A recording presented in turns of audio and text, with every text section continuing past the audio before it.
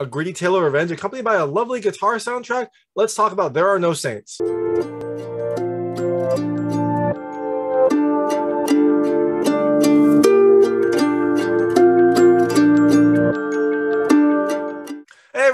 David Stark from Watch or Pass, and I'm going to do a five minute review on There Are No Saints, which is going to be theaters, digital, and on demand on May 27, 2022. It is a gritty action tale of revenge where Neto, the main character, is a bad guy who is forced to do very bad things. And in doing this, he takes on a lot of people that he didn't want to get involved in and is forced to come to terms with things that he did in the past.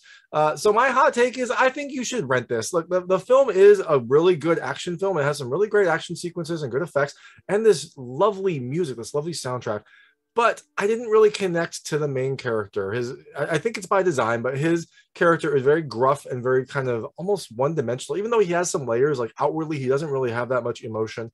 And there are some strange cuts in the film that have pivotal scenes that you just don't get to see. So overall, I think it's a rental. But I'm gonna tell you a little more of the film, a few things I liked and a few things I didn't like. And remember, there's a five minute review, so I'm gonna cut this off at five minutes, regardless of where I am. So in There Are No Saints, you have a former hitman Neto, who's also known as the Jesuit, who went to prison for a pretty terrible hit that he performed uh, and is let out on a technicality. There's a there's an officer that I believe planted evidence, and so this person who did the crime is let out because of that. And now he's thrust out into the world. And there are still there is still some animosity towards him because of what he did. And so you're not really sure if he's going to try to go legit or not.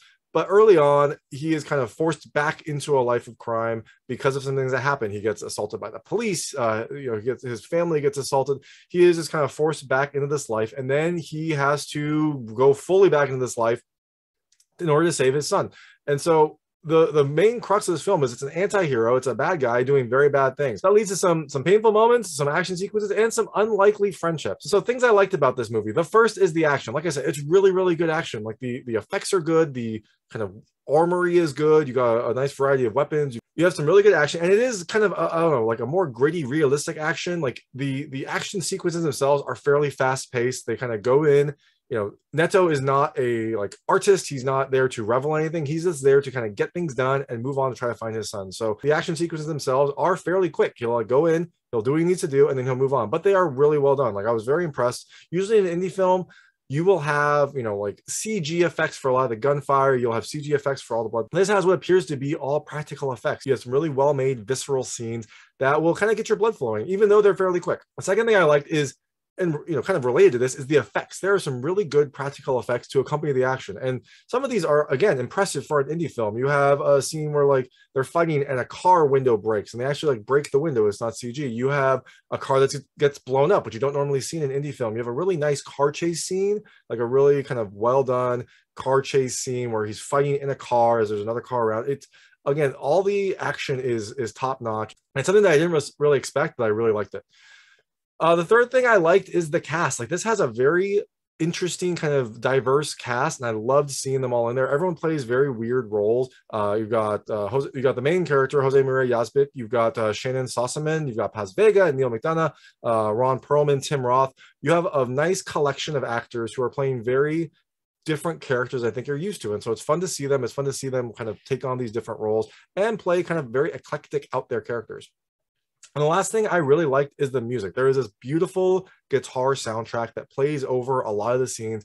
It, it isn't there to kind of like pull at your heartstrings, but it is there to kind of set the tone and have a nice, uh, you know, constant medley. And it does give you kind of a callback to like an older Western type movie or an older style movie, which I really love.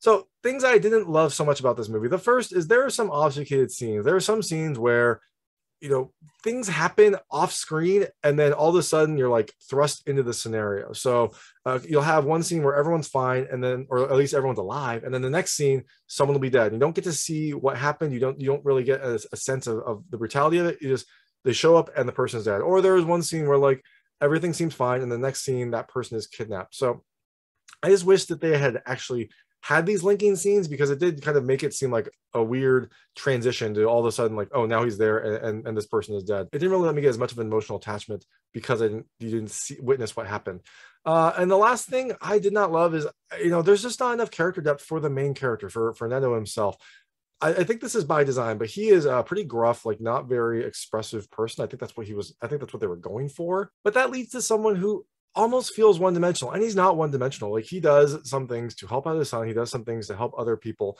but just in his outward appearance and the way that he goes about things, I didn't really connect with him. I didn't really get a connection with him. It didn't really have me become invested in his plight, even though his family was in trouble. And that I think hurt my overall enjoyment of the films. So that is There Are No Saints. It's coming to theaters, digital, and on demand on May 27, 2022.